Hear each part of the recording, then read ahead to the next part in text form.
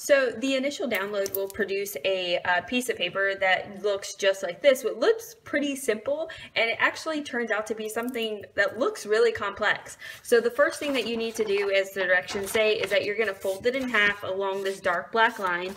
I'm going to go ahead and cut out these circles. I tried to use pretty simple shapes so that they were fairly easy for the students to cut out.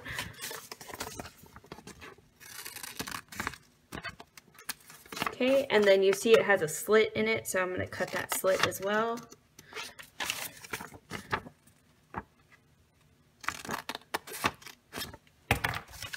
Okay, now what's important is the way that these are going to overlap, and uh, since we are creating a Venn diagram, these two pieces right here are actually going to be the two that um, in the Venn diagram show that these areas are the same.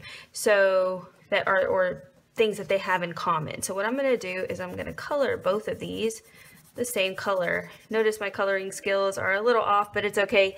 Um, you'll see after it all gets put together. Coloring those orange. And then these outside pieces, you can actually choose two different colors. So let me do blue, since I have it right here. And of course, you can write or do whatever it is that you need to do for uh, your activity. Let's do a cool purple. Fantastic coloring skills, don't you think?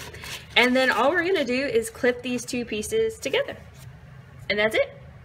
On the back piece, I'm going to put some glue. Same thing on the other side. This back piece, I'm going to just put some glue to hold it all together. And then on the very back, see my direction, and we're to glue that down as well. And there you have it now. It looks like a simple Venn diagram. You kind of wonder why did you go through all this trouble.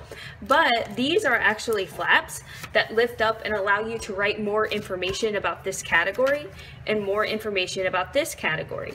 Now, what's even better about this is you can make an additional cut here in the center. I will tell you, it kind of, you may need to put some tape across the top, but um, you can actually cut these flaps open. Now, you have to do it after it's been glued.